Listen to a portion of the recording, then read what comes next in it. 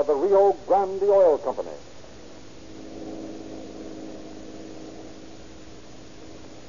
Long Beach Police calling all cars. Attention all cars of broadcast 68. The bank holdup. Suspect age 42. Height 6 feet. Weight 200 pounds. Red hair. Slight accent. This man is armed. Watch your step, boys. That is all.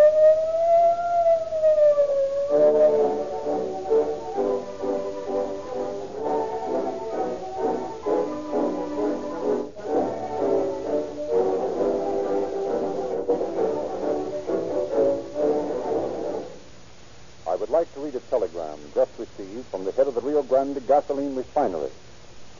He says, We technical men at the refinery appreciate your truthful advertising of Rio Grande cracked gasoline. We are glad to testify that gasoline made by the Sinclair cracking process will more than live up to any claims you make in advertising. Signed, William Murray, Superintendent of Rio Grande Cracking Plant, Benvale, California.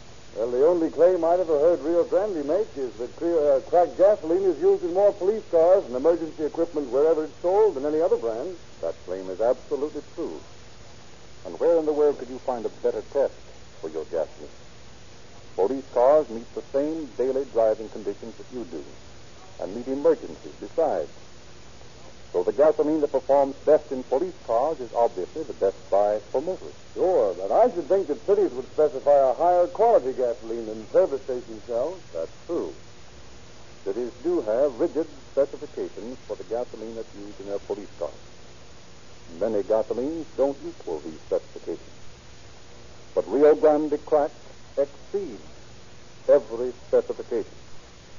It's better than the law requires. That's why so many cities have selected Rio Grande above all others to power their finest, costliest cars. Well, that sounds like it might be too expensive for my car. It doesn't cost you one cent more to buy the same Rio Grande cracked gasoline that is specified by so many cities. Every time you fill up from a Rio Grande cracked gasoline pump, you get exactly the same gasoline that police cars use. And you get a better gasoline than you pay for, because Rio Grande's patented cracking process adds qualities you can't get in any other gasoline.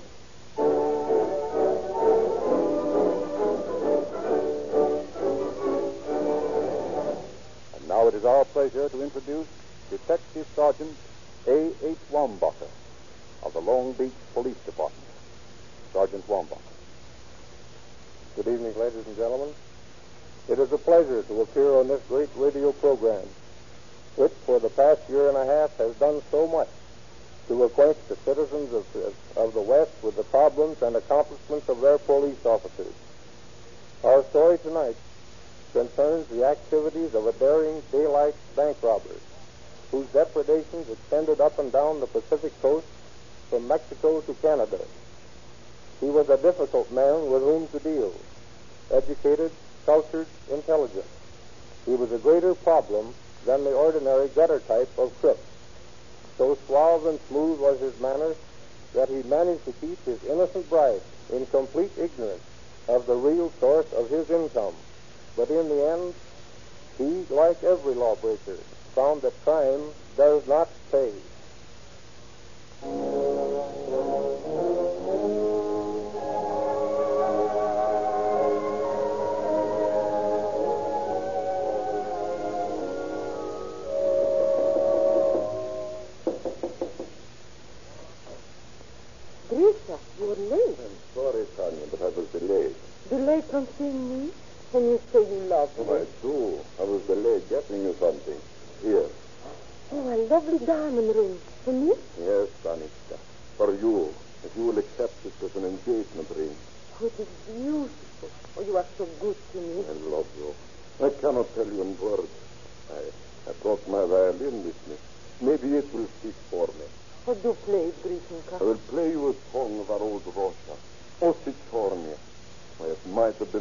For your smoldering black eyes.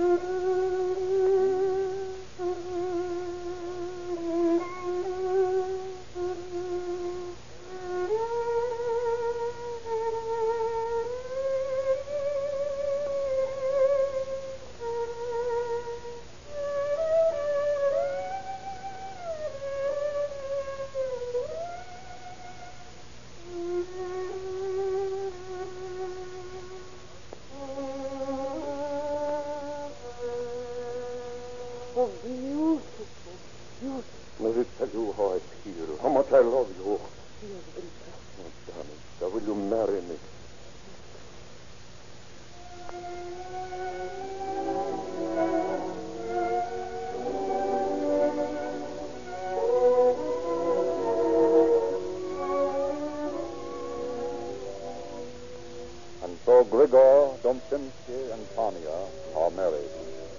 For several months, they live luxuriously, stopping at the best hotels, spending much of their time at resorts up and down the California coast. Then one evening, they are seated in the dining room at Aguas Calientes.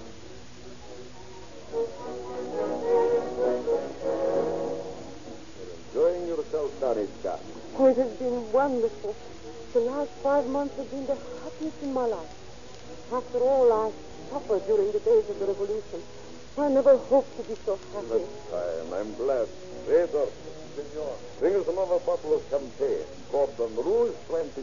Si, senor. It'll be our last bottle of champagne, my son. Our last? Why? We must leave here tomorrow. Where will we go then? I don't know. Oh, I would like to go back to Santa Barbara. We had so much fun there. No, Bernice, the fun is over for a while. What do you mean? There's only twenty dollars left. What? You did not think, Danica, this money lasts forever, did you? I didn't know. I did not Well, think. don't worry. We'll have some more soon. Where will you get it? I have made a connect. Connect? Are you going into business? Yes, not exactly. I have a friend who's a bootlegger. Bootlegger. But Grigori, that is against the law. That is a foolish law. The people of this country do not want it. They want liquor. There is money in selling it to them. Yes, but What difference does it make to you, my car? As long as I can get you pretty things and take you nice place. Ah, but you might be arrested. They might send you to prison. Oh, no. You can always get out of trouble, even if you are arrested for bootlegging. But there's little worry of that. My friend is very powerful. But Grigori, I, I don't like Now, it. don't worry yourself about it at all. I'll get the money, and all you have to do, Tanika, is to spend it.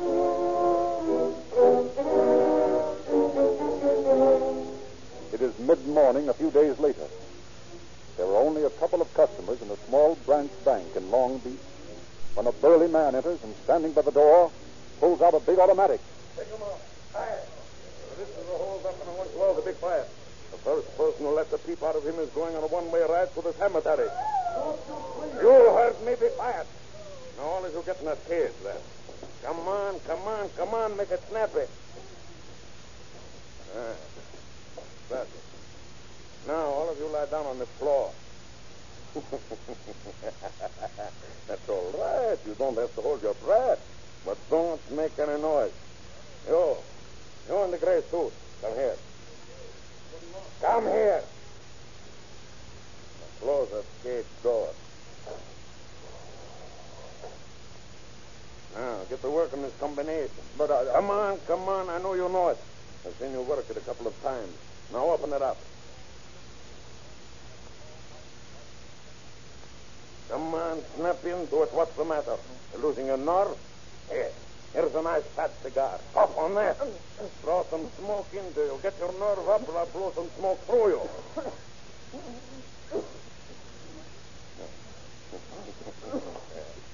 yeah, that's more like. Now get back there in that cage. Get down on the floor and stay there. Remember, while I'm emptying this safe, I've got my gun right on you.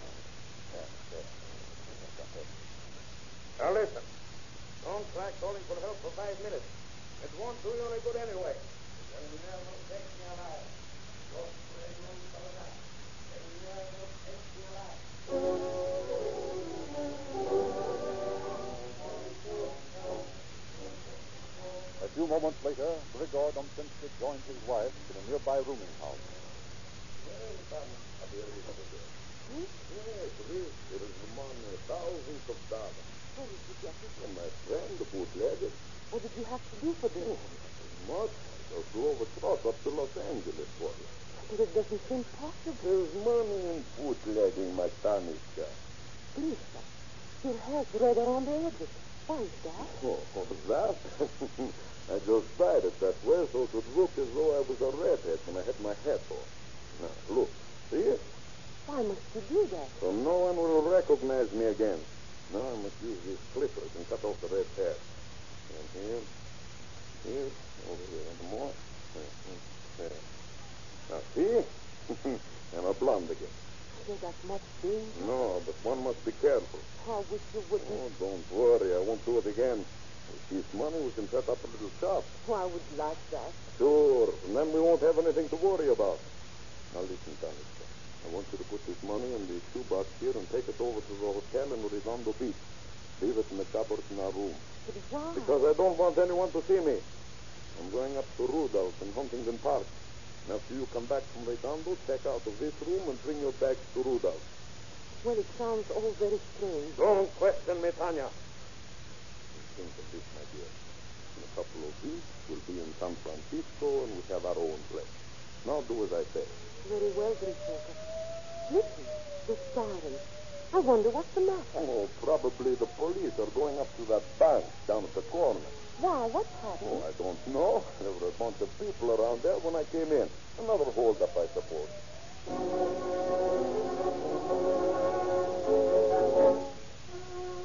While Domczynski busies himself clipping his shaggy dyed locks, Sergeant Joe McCullen has arrived at the bank and is questioning the frightened employees.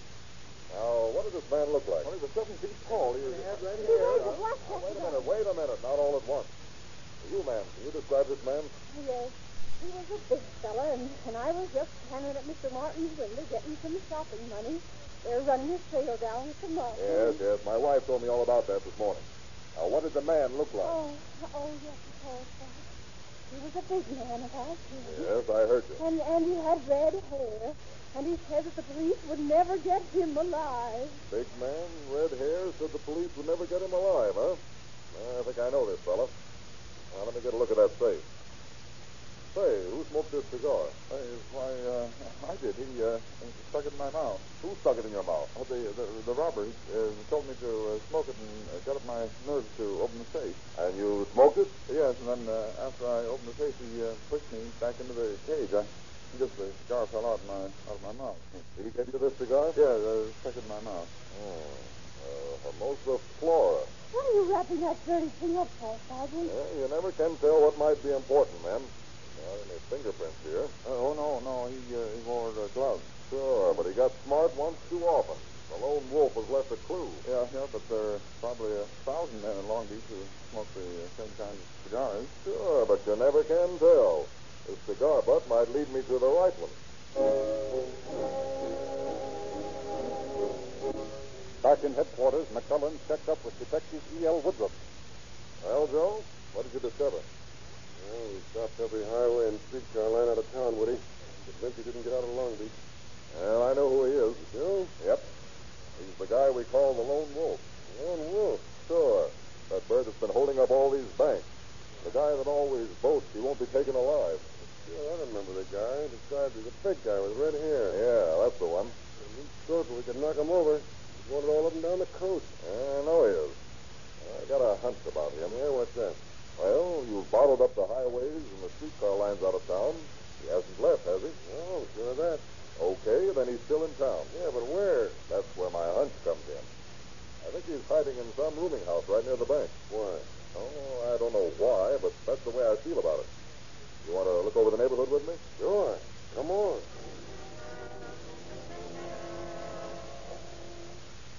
Well, this street's as good as any to start on. The bank's there on the corner. Now, this first house here has room for rent sign in the window. I'll go in there, Woody, and you start on the other side of the street. If either of us gets a bite, we'll let the other one know. Okay? Okay. Good luck.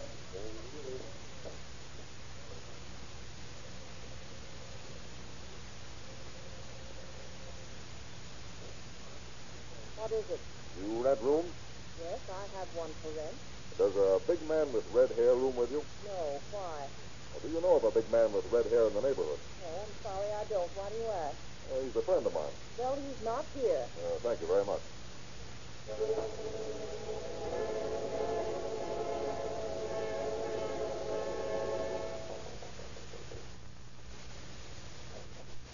Yes? You a roomer who speaks an accent and has red hair? Say, I'm a 100% American. I wouldn't rent a room to no foreigner.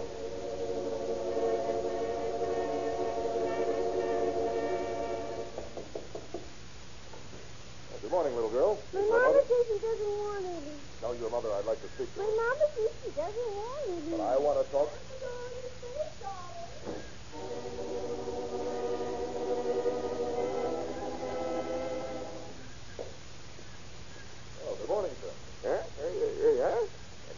Boarder here who has red hair, a pretty big man? Uh, huh? I said, have you a boarder with red hair? Yes, you it. I can't hear so good. Oh, no, I'm looking for a man, a big man. Oh, the biggest fan we got. Can keep thanks. Uh, uh, what you want with it? No, no, you don't understand. Go, Mac. I can hear you all the way across the street. Okay. So long, Pop. Uh, where are you going, son? I'll let you look at that big fan. no. Oh, all right. Well, Woody, any luck? No, not a thing. How about you? Uh, nothing at all. Maybe my hunch is wrong. We covered four square blocks and haven't found a thing. Uh, I guess I... Hey, Woody. What? See that pair of legs crossing that yard over there? Under those clothes on the line? Yeah, what about it? Aside from the fact that they're attractive. Did you stop at that house? No. Signs or anything to indicate they're just rumors. Oh, there she goes down the street, carrying a suitcase. Well, there's no law against that. My hunch is working again, Woody. I want to see what's in that bag. You got no right to search your bag. That'll be exceeding your authority. I'll take a chance on that. Come on. Oh, uh, just a minute, ma'am. What is it? We're police officers. Oh, I see. We're making a little investigation in the neighborhood, and I'm afraid I'll have to ask you to open your bag for me. Is that something like customs inspection? Yeah, something like it. Very well. Here's the key to it for the bag. Oh, thanks. Uh, leaving town, were you? No, just going to visit some friends. Hmm, magazine, perfume, stockings. Hey, Woody, look here. What? A box of cigars. Hermosa Flores. The same kind he smokes. I'm sorry, ma'am, but you'll have to come to the station with us. You realize, don't you, Mac, that this woman may sue us for false arrest. She hasn't anything on her. Yeah, I know that, but there's something wrong about this thing. Something screwy. No nice, clean-cut young woman like she seems to be carries a box of big cigars wrapped up in her undies. Oh, boy, we're taking the chance. Eh, maybe so, but I'm going to question her as soon as the matron gets through searching her. I grant you that there isn't a thing but the vaguest clue of those cigars linking her to the holdup, but it's worth risking. Oh, come in. Oh, it's you, Mrs. Sullivan. Well, have you searched the prisoner? Yes, sir. Did you find anything? Nothing but this. Hmm. See, with a celluloid tag marked 717. Where'd you find this? In her shoe. In her shoe. That's a strange place to carry a key. Where is the woman? She's outside. Now, bring her in. Will you come in, please? And won't you sit down? Thank Now, please understand that we're forced to cause you this annoyance as a matter of investigation of a very important case. No suspicion is directed at you personally, but it'll be necessary for us to ask you a few questions. By all means. And for my part, I want you to understand that I am for law and order. I don't know what this is all about, but if I can help you in any way, I'll be only too glad to do so. Well, that's fine. Glad to see you take that attitude. I can assure you you'll not be detained any longer than is absolutely necessary. Now, uh, what is your name, please? Mrs. Edith Stanley. Mrs. Edith Stanley. Oh, you have an accent. Are you a foreigner? My accent is uh, French. I see. I'm interested in those cigars in your suitcase, Mrs. Stanley. Who do they belong to? My husband. Your husband? Where is he? Well, I was on my way to meet him in Laguna Beach. We were going to spend the weekend there. He asked me to bring him some cigars. Oh, what is your husband's business? He's a manufacturer Well, where is his factory located? in St. Louis. We're out here for a little trip. I see. And uh, this key with a celluloid tag bearing the number 717. What's I'd that? ra- I'd rather not say. I'll have to demand an answer, Mrs. Stanley. The matron found this key in your shoe. That, you must admit, placed a certain suspicion upon it. You were hiding it for some reason. Now, what was that reason? May I count upon your honor as an officer and a gentleman? Naturally, You will keep this confidential. as far as duty permits. As you can see, I have no connection with any investigation you're making, and this key is a personal matter, a very personal matter. Nevertheless, I must insist you tell me what this key opens. It is the key to the apartment of a friend of my husband, who has become a very good friend of mine. I couldn't help it. It just happened. Since my husband's will to know it would make me terribly jealous. He might, he might do anything to me, and he's a friend of ours. I see. Well, Mrs. Stanley, that's your problem, not ours. And certainly we haven't the time to interfere in your domestic problems. Oh, thank you. I trust you'll forgive our detaining you Of course. I may go then. very shortly. The matron will make you comfortable. But why? Just a routine matter of checking up on your identity. Oh. Uh, take Mrs. Stanley away, Mrs. Sullivan, Oh, but, but, and treat her with every consideration. Yes, sir. but you said, It'll only be a matter of a couple of hours, Mrs. Stanley. oh, but you mustn't. You can't. Come along, ma'am, and quietly, please. Yeah, you're crazy, Mac. It's on the plausible story. Uh, too plausible. I'm going to check up on it. Of course you, Mac. Everything else she told me may have been the truth, but she lied once. When was that? And she said she was French. Her accent is Russian. That doesn't prove anything. Eh, Maybe not. But our big man with the red hair had an accent, and he smoked Hermosa Flora cigars. This woman has an accent, and she carried a box of Hermosa Flora cigars in her bag and a key in her shoe. Come on, Woody. Well, what are we going to do now? We're going to try to find the hotel this key belongs to. You may spend a couple of years trying to do that. Okay, but partner, there's something smelly in this case besides the brand of cigars. Come on.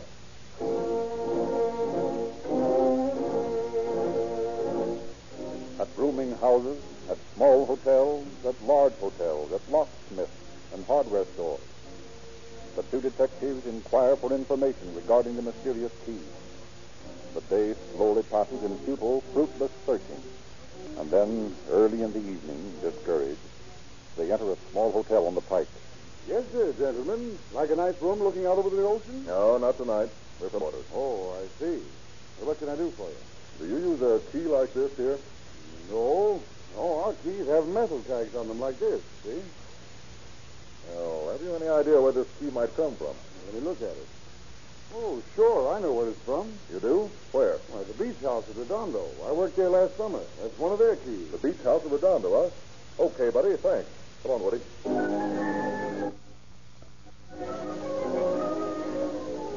Accelerator to the floor, siren open wide. McClellan and Woodruff streak northward to Redondo Beach. At the beach house, they interview the manager. Is uh, this one of your keys? Yeah, why? Who's it belong to? What do you want to know for? Who are you? McClellan of the Long Beach Police Department. Well, you must be on the wrong track. Folks who occupy that room aren't the kind of people police are looking for. Well, who does occupy the room? And his wife by the name of Duntinsky. A Mistinsky, huh? Russian? Yeah, might be, I guess. Do they have an accent? Yeah, I think they do. Well, you see, Woody, it all fits. Yeah, so far. Well, they're fine people. The man's a musician. Plays the violin. They're out just in New York on a vacation. Well, the story changes. They're from New York this time, Woody. Are these people in? No, I don't know. Uh, ring their room. If they answer, give them some alibi. Say you made a mistake or something. But look here, these folks are on the level. Ring their room. We haven't any time to wait. Oh, very well.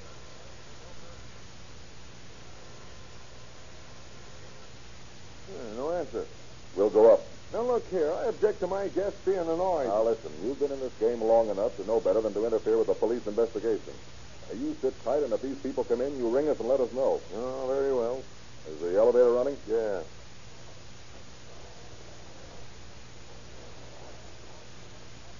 Well, looks pretty good, Woody. Yeah, but I'm not convinced yet. I don't believe in circumstantial evidence. Hang too many innocent people. Ah, now, hold your horses, partner. You can never tell what sort of evidence we might turn up. Well, here we are. Well, where's 717? Right here, across the hall. Fine. Hear anything? Get your gun out and let's go visiting then. I open the door, you cover the room, and I'll snap on the light. Hmm, nobody home. Well, let's take a look around. Nothing in this drawer but some playing cards. Here's a violin case and a table. Open it up.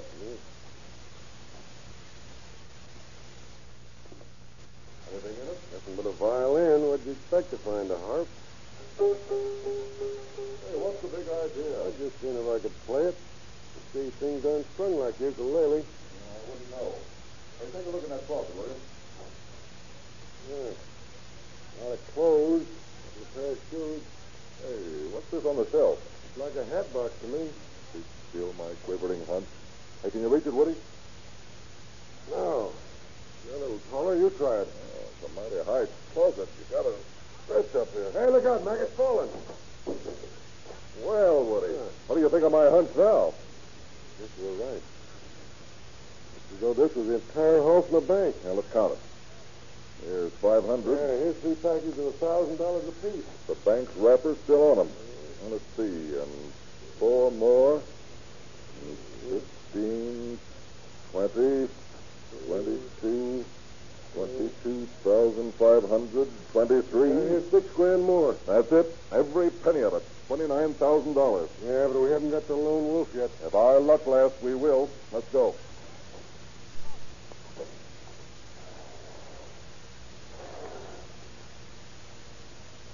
We need now is a stakeout on this spot. Yeah, the boys here in Redondo Beach will help us on that. You got that dough? Right here under my arm. Oh, now maybe this wise guy will believe us.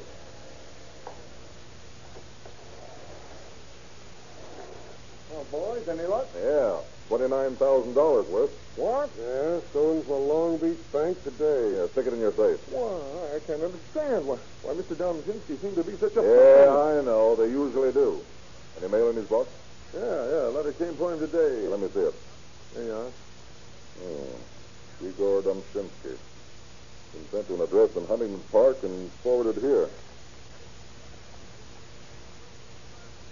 Uh-huh. Anything important, Mac? No, but apparently our man's a good friend of the people in Huntington Park. This bird that's writing the letter sends best regards to Rudolph and his family. Yeah, our next call's in Huntington Park, then. Right. Uh, what do you want me to do with this money? Uh, keep it in your safe. We'll be back for it. And if Domshinsky comes in, uh, don't say anything about us being here. In a few minutes, some officers will be here to wait for him. Yeah, very well. But I can't believe that the fine man as you such an awful thing.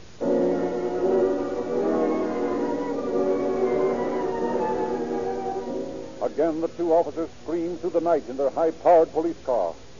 And as they decimate the distance separating Redondo Beach and Huntington Park, Chief Yancey of Long Beach and the shotgun squad, warned by McClellan, is also heading for the Huntington Park address. It is close to midnight when the two officers quietly approach the house.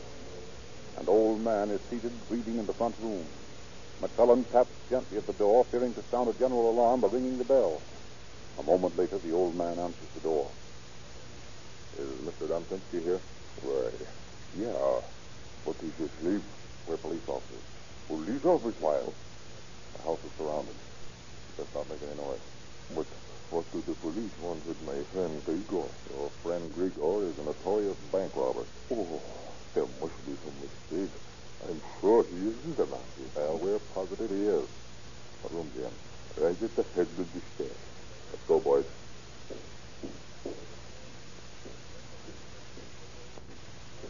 And be ready for anything.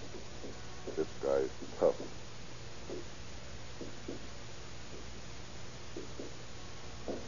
Hey, the door's open. Yeah.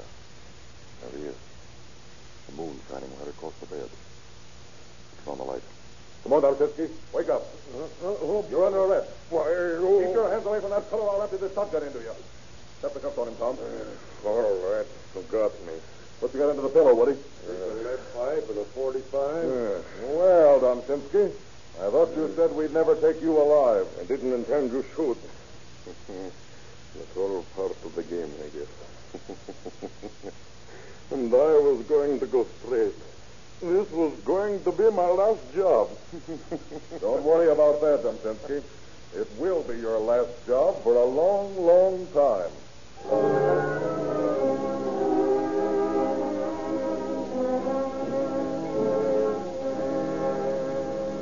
Domshinsky confessed and pled guilty and was sentenced to serve 40 years in San Quentin Penitentiary.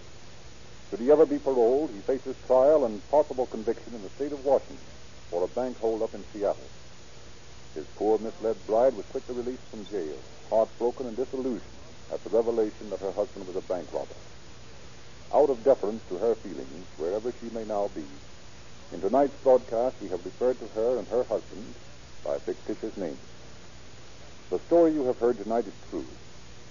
These weekly dramatizations are based upon facts obtained by Rio Grande investigators from confidential police files. Because Rio Grande provides the cracked gasoline which powers police cars in so many large western cities, we are in close touch with police work. Tonight, Rio Grande has entertained you. Tomorrow, Rio Grande will thrill you.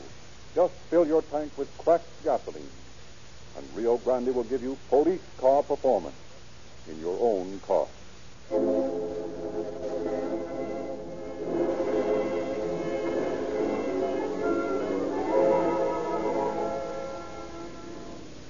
Long Beach Police calling all cars, attention all cars, the cancellation of broadcast 68 regarding a bank holdup.